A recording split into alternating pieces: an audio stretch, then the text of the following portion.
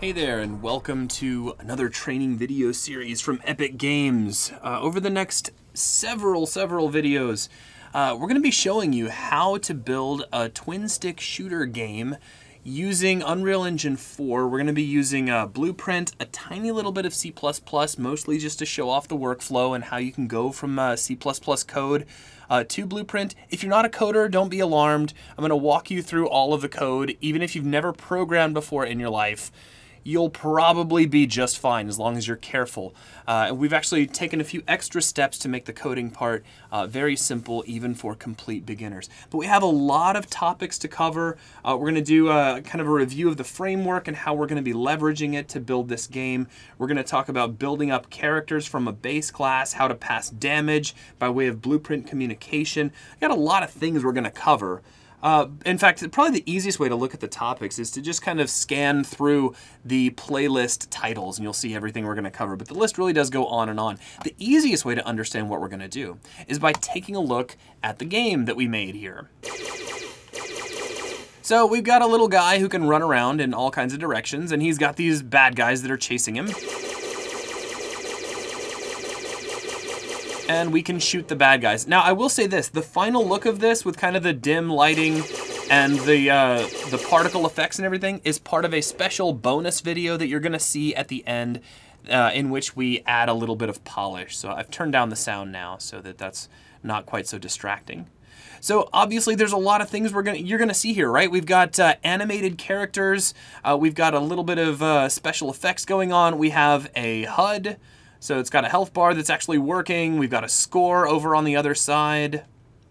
Uh, we can die, and if we die, uh, we fall down, and then we respawn and start the whole thing over again. There's really no ending to the game. It's more, uh, more just kind of a, a, demonstration of how to set up the basics of a game. Of course, there's a, a lot of stuff you could do from here. This is still just a prototype, albeit a, a fairly pretty one.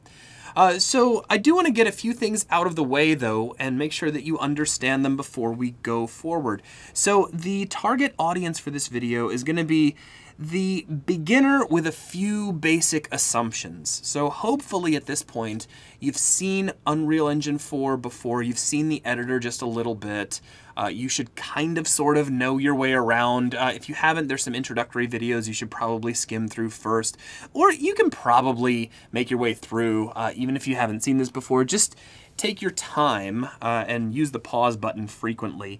Uh, we're also assuming you, you kind of know your way around 3D space and that uh, you're at least somewhat familiar with uh, certain animation concepts like uh, what is a, a, skeletal mesh, like you know a, a, mesh that has a skeleton in it that's been animated, uh, that sort of thing. Now, there are some requirements for following along with this video if you're going to follow through the whole thing. Those requirements include, of course, Unreal Engine 4. Uh, I am using version 4.8.1, and uh, so this video should, uh, should work with that version especially. Uh, anything else, if there's any bugs, uh, let us know and we'll deal with them as we're able. Also, because we're doing some code that requires Visual Studio, you can get Visual Studio Community and it'll work just fine and is totally free. So make sure that you get that. Also, there is a zip file that is uh, linked in the comments for this video. So make sure that you grab that. This zip file contains the animation assets. So all of these animation assets have been pulled from uh, pre-existing Epic releases. So some of them are from the animation starter kit available in the marketplace. Uh, there's a couple of animations that I pulled out of I think it was uh, out of content examples, but uh, anyway, they're they're uh, they work with the exact same skeleton. You can take a look. There's just a few death animations, uh, some walk, some jogging and walking animations that we're going to be using throughout the game. There's also a weapon, so the gun that he's shooting. This is something that, at the time of this video, is going to be released in the engine later. So it hasn't actually been released yet. Uh, the gun, when you see it, is completely a work in progress. It's not entirely finished, but it looks pretty good, actually. So uh, we're going to use it in our video because it looks really nice. Now, another thing in in this zip file that is here just to make your life easier is the actual code that we're going to be using uh, for our C++ portion of the demonstration. So if you've never coded before, uh, make sure you have that. Make sure you uh, get that opened. If you don't have Microsoft Word, then because uh, that's just how it the uh, how it exported out, uh, I made this as part of a Google Doc, so you could just throw it up on Google Docs and and go from there.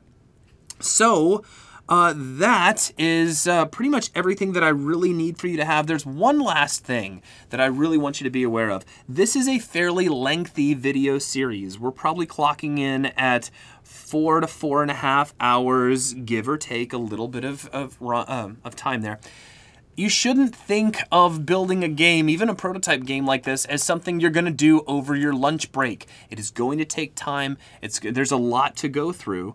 Uh, I've tried to keep the videos as concise as possible while explaining things um, very thoroughly. So there's, a, there's some talk in here, but uh, I think the longest video Actually, well, the longest video is the kind of bonus video at the end. That's half an hour. But um, all the others, I think the longest one is maybe uh, 15 to 20 minutes. Most of them are much shorter, uh, usually around the, the 10 to 12 minute range. But uh, keep in mind, I fully expect you to have to use your pause button. Uh, while you're following along, I'm talking, I'm moving at a certain rate. I cannot pick a speed that pleases everybody, and I apologize for that. But please get familiar with tapping pause while you catch up and then recommencing, uh, or you know, utilizing any sort of um, of you know flagging, even if you have to write down just like a time signature you left off on. Uh, just keep in mind, you can adjust the speed of these videos to work best uh, for your pace, or maybe even play them back at double speed. I know some folks who do that as well. Uh, so uh, with that, I guess we're ready to get started. Welcome, and I'm really excited to be building this game with you. Uh, thanks so much, and let's get rolling.